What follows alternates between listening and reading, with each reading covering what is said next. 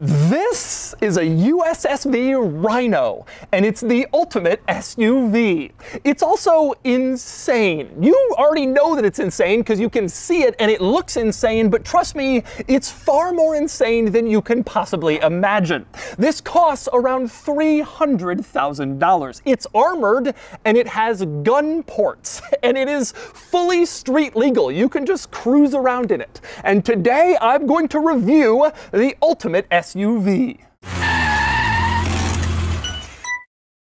Before I get started, be sure to check out Cars and Bids, which is my enthusiast car auction website for cool cars from the modern era, now with free listings. You can list your car for free and auction it on Cars and Bids. And we've had some great sales recently, including this Mercedes G-Wagon, which sold for almost $160,000, this fantastic Tesla Model S 90D, which brought $50,000, and this Porsche Panamera Sport Turismo Turbo SE Hybrid, which sold for almost $150,000. If you're looking to buy or sell a cool enthusiast car from the modern era, the 1980s and up, Cars and Bids is the place to do it with great daily auctions and amazing selection at carsandbids.com.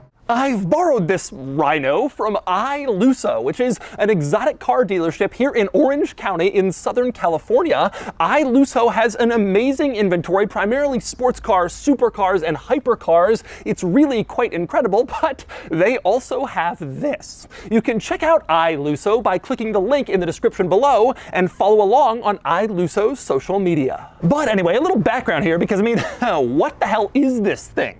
Okay, first, USSV that stands for US Specialty Vehicles, and they make this, the Rhino GX, and there's also a smaller model called the Rhino XT. Now this is based on a Ford F450 Super Duty chassis, and then it's modified, clearly. The goal is to create the ultimate SUV for someone who really needs security and protection, and this has protection. It's armored for one thing, and there's a lot of other features designed for use in an apocalyptic scenario. I mentioned the gun ports, but there's way more than just that, which I will show you. These are built here in Southern California, and like I said, $300,000 or so for the ultimate SUV. And now it's it's time to check it out. First, I'll take you on a thorough tour of this and show you all the quirks and features of the Rhino. Then I'll get it out on the road and see how it drives, and then I'll give it a Doug score.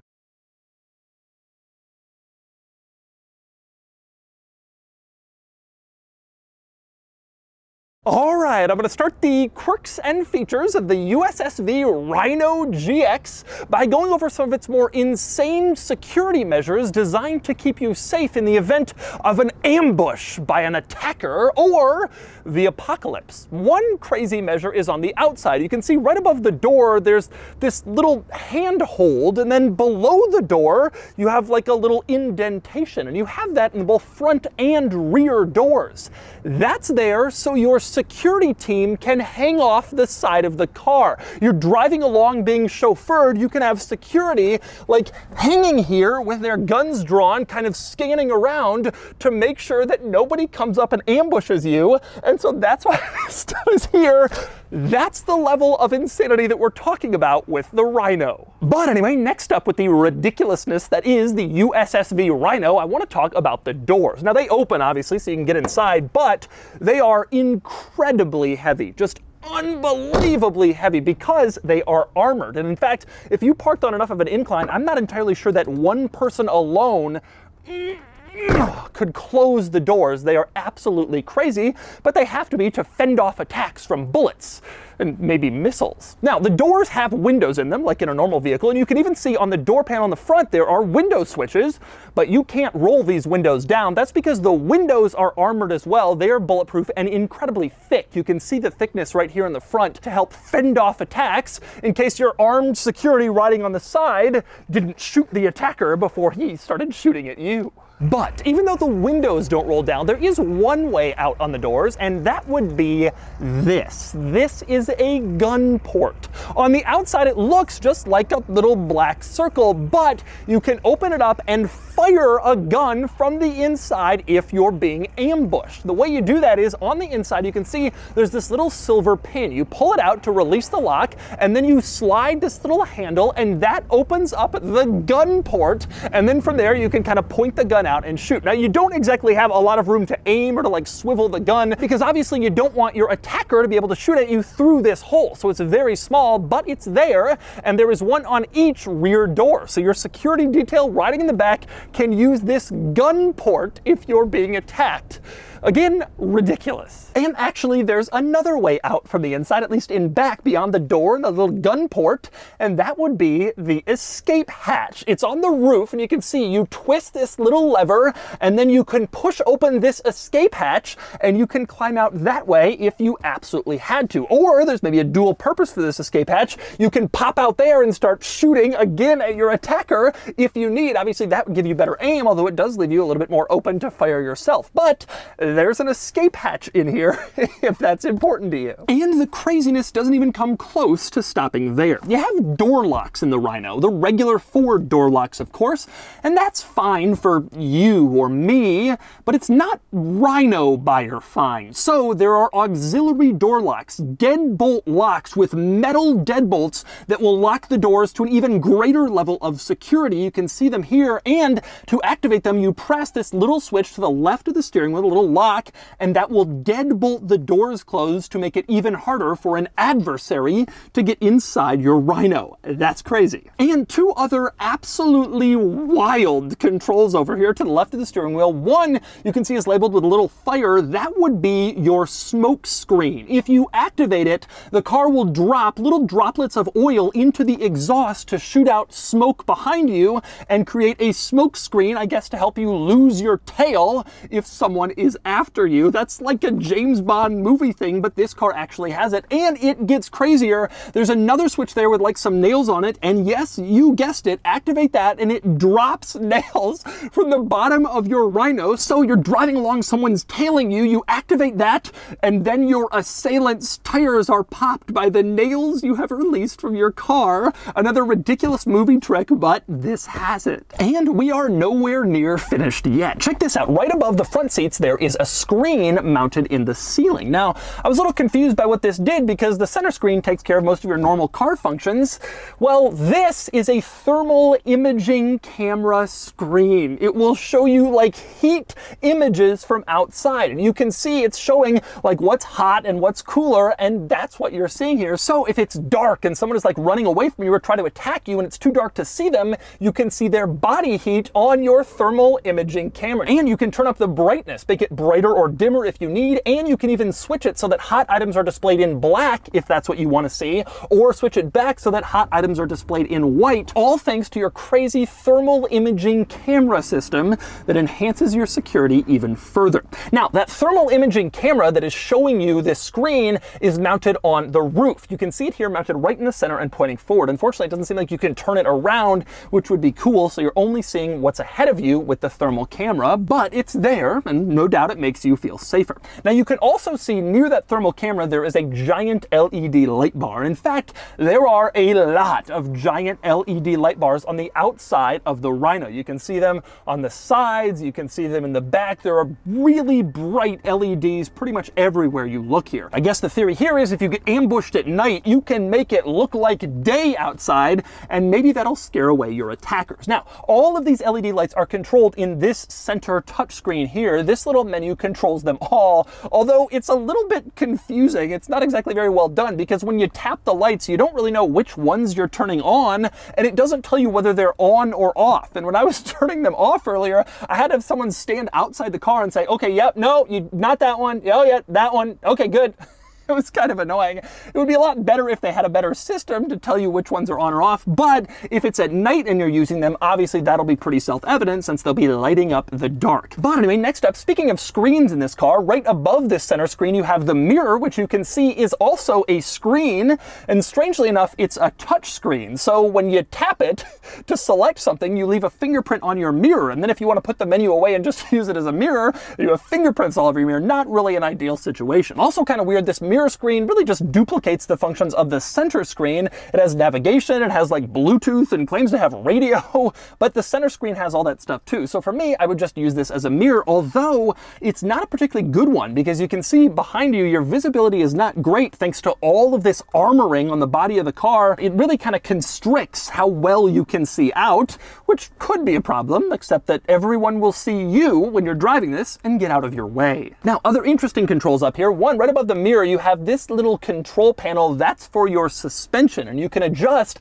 the height. Obviously, air suspension this, you can go to a very high height if you're going off-road. You can go low, maybe if you're trying to get in and out. There's also a sport mode, which I find to be absolutely ridiculous that this crazy vehicle has a sport mode, but it does, and you can dial that using the little suspension control. Also, another interesting control up here at the base of all the center control stack, you have this little box. That is a CB radio and a CB radio controller, and I guess the theory there is you can use it to talk to other members of your entourage. So you're driving along in this, and you want to communicate with the other cars in your security team, that's how you do it. Built-in CB radio. Another feature you don't have in your car, but you would if you had one of these. Now, as far as the rest of the interior, beyond all the cool security countermeasures, it's kind of interesting in here. To create these trucks, USSV buys the very most base model Ford F450, since they're going to be heavily modifying it anyway, they don't want to pay for stuff they don't need. But the result of that is the front, the interior up here is kind of a mishmash of really nice USSV stuff and really cheap basic Ford stuff. For example, the nice stuff, the seats have this beautiful look, two-tone with nice quilted leather in the center, which looks good. You have a lot of USSV logos everywhere. It's embroidered into the center console, also in leather, and it's embroidered into the door panel, which is nice. And you can see the door panel itself has a very nice look, leather stitching. It all looks very luxurious. You have another USSV logo in the seat, this gold logo with the rhino, which also looks pretty nice. And you have a suede headliner here, suede on your sun visors, which all looks great. It's a very luxurious experience, except because this is the very base model F-Series, you have no gauge cluster screen. Instead, you just have this sort of green dot pixelated display, which just looks cheap and doesn't really match the character of this car. Although personally, my favorite cheap Ford detail in here is the climate controls. Absolutely no frills. You can see blank switches and just simple little dials to adjust the climate control since this started life as a base model Super Duty with no like niceties or luxuries added. it's just kind of funny to see that in such an expensive truck. Another Another interesting one is over on the dashboard. You can see this cheap bargain level plastic that Ford uses on their most base model cars right next to this nice leather on the dashboard added by USSV with nice stitching. The reason they didn't change the plastic is because that's where the airbag comes out. And if you put leather over that, it could make the airbag not pop out or not pop out properly if you're in an accident. So they didn't mess with that. And so you have this cheap plastic next to other nice stuff. Again, kind of looks funny. Also also looking funny is the steering wheel, borrowed from the Ford pickups, like a lot of other stuff in here, but you have the USSV logo in an oval shape in the center, where the Ford oval logo would be. They just pop that off and put their own logo on instead. Now, in addition to the funny mashup of cheap Ford and nice luxury stuff, there's also another funny item in here, and that would be the radar detector, which is built in next to the steering wheel to the right. It's ridiculous. This weighs 9,600 pounds. You are never going to be speeding. You do not need a radar detector in this vehicle, but it is there. We'll see if I can actually get it speeding when I drive it a little bit later. And next up, we move on to the back seats for more quirks and features. Now, it's pretty interesting back here. When this comes from Ford to USSV,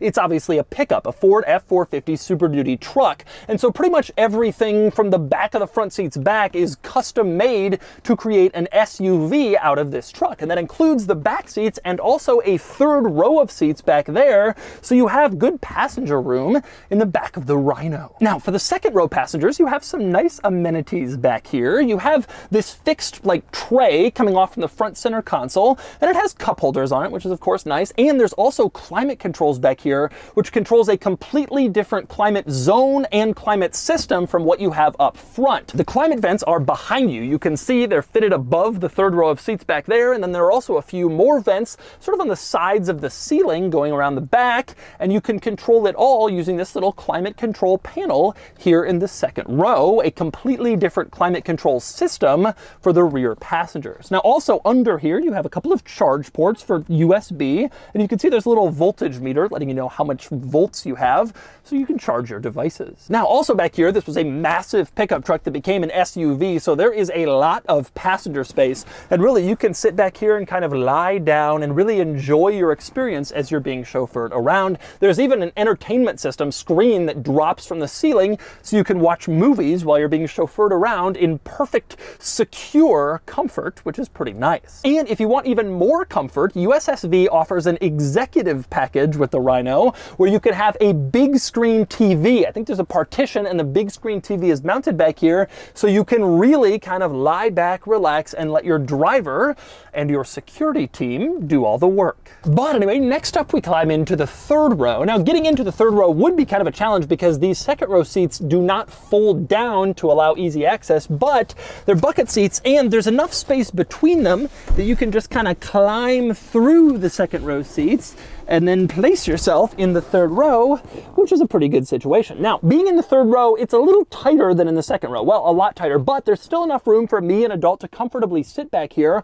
Although it's worth noting there are three seats in the third row, three across, and the middle seat would be incredibly tight if you actually had three people in back from a width perspective. In terms of length and legroom and headroom, that's all good, but I wouldn't really want to put three in back, although it is technically possible. Now, as for the third row itself, frankly, it's pretty nice back here. Once again, you have a nice leather, which looks good. And on the sides of the seats, you have nice leather trimming and a few cup holders and some storage areas. And it all looks relatively nice. Some good attention to detail paid to even the third row, which probably won't get used except for extra members of your security detail. And next up, we move on to the rear of the Rhino. And to get into the cargo area, you have to swing open the spare tire. But before I do that, I want to talk about the wheels in this car because they are crazy. Maybe the craziest thing about the entire car. And I say that because the wheels are reversible. The front wheels are just the rear wheels flipped around and vice versa. They paint both sides and a front wheel is completely interchangeable with a rear wheel.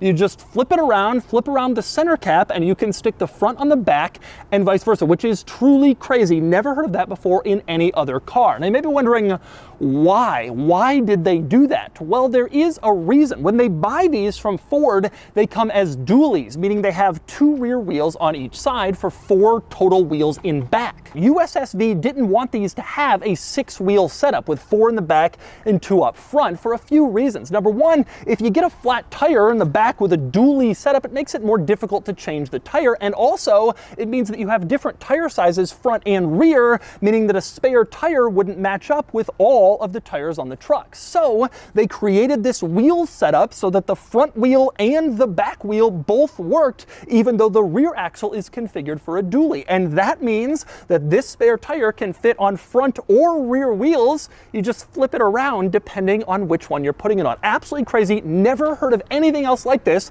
but it's a neat feat of engineering for this truck. By the way, also worth noting, these tires are of course run flats, meaning that if they're popped or punctured, you can still drive on them up to certain speeds in order to get away from danger. But anyway, back to the rear cargo area situation. Like I said, to get back here, you gotta fold out the spare tire, which is pretty standard in vehicles with a spare tire. And then you open up this rear cargo door and that gives you access to the cargo area in back. And you can see it's not really all that big back here on account of the fact that there are two large rows of seats in there taking up most of the space. But if you do want more space, you can fold down this third row and it looks like you can completely remove it if you want as well. So you can just pull it out if you want it to be a two row vehicle and maximize your cargo space in back. But anyway, to me, probably the craziest thing back here is the way it looks with the door closed. It kind of looks like a house, frankly.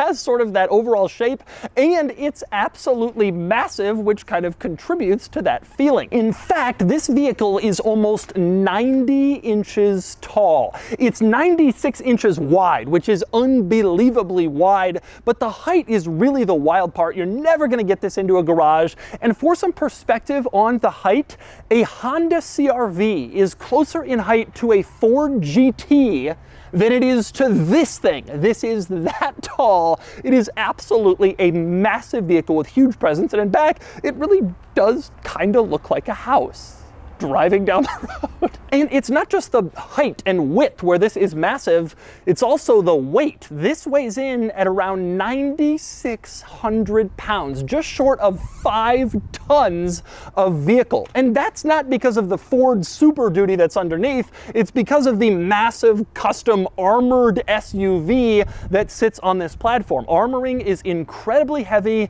and that tells you just how heavy, almost 10 thousand pounds, an immense thing to move around. And the size is incredibly obvious when you look at it on the outside. It was designed to almost maximize its muscular, brawny look and make it seem even bigger than it is, which is actually kind of hard. You can see all the angles and the added muscle on the outside. It just looks pretty ridiculous, but it's also incredibly head turning. It will make sure everybody gets out of your way, and it's intimidating, which is part of the point of a personal security vehicle like this. You don't want to mess with the person driving one of these.